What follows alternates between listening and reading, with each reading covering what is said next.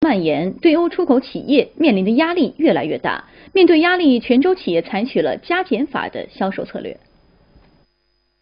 虽然临近中午，但在三公金刚石工具公司里，工人依然忙碌，他们正在赶一批沙特阿拉伯的订单。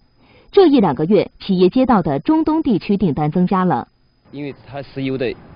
价格啊，给他带来非常大一个收益。然后他们在看到了这个问题以后，他们也增大了他们当地的很多的一个基础的建设啊，包括旅游、呃商业这一块，然后就带动了它整个的建筑行业、建材行业的发展。对于我们泉州呃以建材为主的一个行业是非常大的帮助。也是一个非常好的一个市场。目前来讲，我们的整个增长量已经超出我的预期了。作为一家出口型企业，长期以来企业的出口份额都是欧盟、中东、东南亚三者均衡。但近年来，欧盟市场的疲软导致了订单急剧下降。相比之下，中东市场的需求量却以百分之二十到百分之三十的增速推进，这让企业看到了中东市场的潜力空间。为此，企业迅速调整了销售策略，一方面加强与欧洲买家的衔接，另一方面加大力度开拓中东市场。目前在中东这一块，中国的产品、中国制造的产品应该还是非常有大的、很大的一个潜力，它的性价比各方面都会比欧美这一块更有竞争的优势。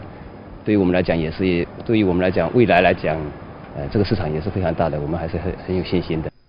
随着欧债危机的加剧，泉州不少企业的外贸结构正在变化，对中东、拉美、非洲、南亚、澳新等新兴市场的贸易额逐步提升。我们现在的话，呃，包括我们现在老总已经，呃，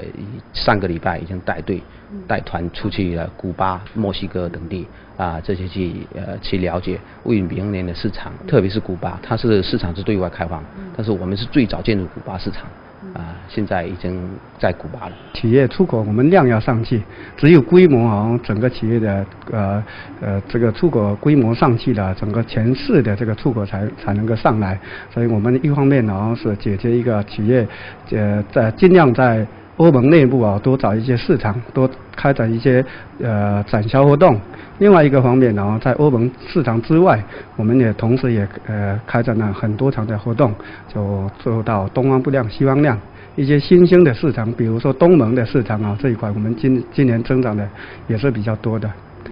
在欧美经济出现衰退之时，新兴市场国家由于经济实力各不相同，所受冲击也有较大差别，但基本面仍较健康。针对这一现状，泉州一些出口企业抱团开拓新兴市场，北非、南美、中东等地区都有泉州商品的身影。